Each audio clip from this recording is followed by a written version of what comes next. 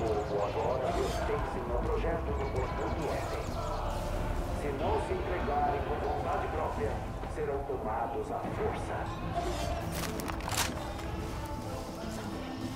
Se tentarem lutar, tentarem resistir, serão expurgados.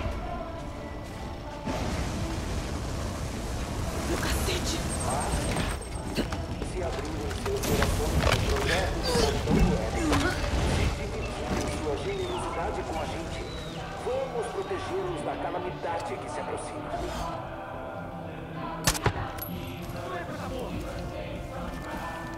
Todos são bem-vindos no nosso jardim. Você só precisa dizer.